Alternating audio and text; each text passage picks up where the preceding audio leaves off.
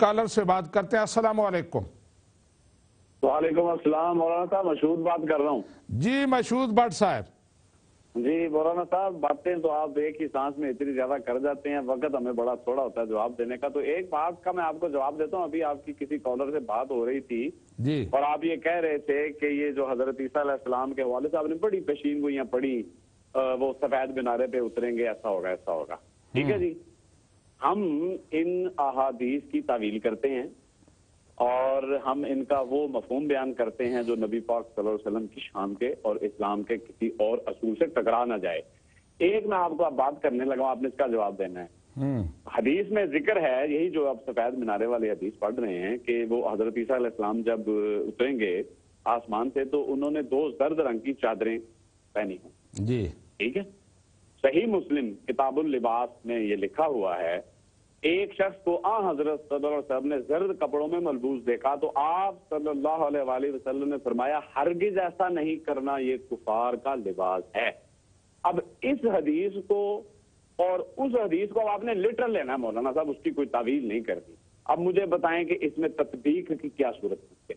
उधर आप कहते हैं, जी, वो हज़रत ईसा के मुतालिक जो अल्फाज लिखे हमने लिटरल लिखे तो यहाँ नबी पाक सल्लल्लाहु अलैहि वसल्लम ने नापसंद फरमाया और इस मजमून की अहादीस कई और किताबों में इमाम बैकी भी लेकर आए हुए हैं शोबुल इमाम इस तरह की अहादीस जिसमें नबी पाक ने जर्द कपड़ों के पहनने को नापसंद फरमाया।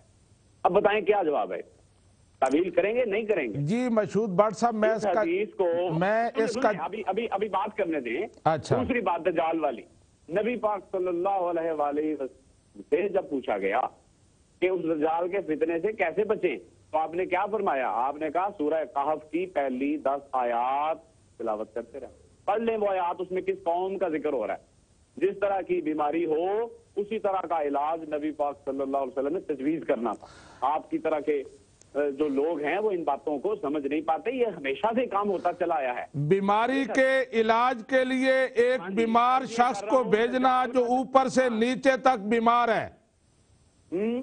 बीमारी के इलाज के लिए एक ऐसे शख्स को भेजना जो ऊपर से नीचे तक बीमार है। मैं आपको अब ये देखें ये सिर्फ़ तानाबाजी है। ये तानाबाजी क्या है? तानाबाजी और क्या है? बाहर का जवाब आया कोई नहीं। वो बीमारी के मैंने आपको कहा मैं जवाब दूँगा लेकिन आप बात खत्म करें तो मैं जवाब सुनिए, दूँ। हज़रत। मेरी बात सुने हज़रत अयूब सलाम का जरा वाकया बयान कर दें जो किताबों में लिखा हुआ है। अगर इतना ही आपको शौक है ना एतराज़ करने का उनकी जो बीमारी का वाकया है ना वो जरा अभी बयान कर दे दो मिनट में पब्लिक सुन ले।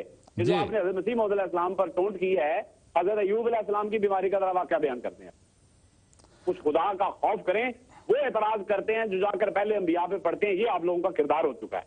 हम्म। जी आप मशहूद भट्ट साहब आपका शुक्रिया।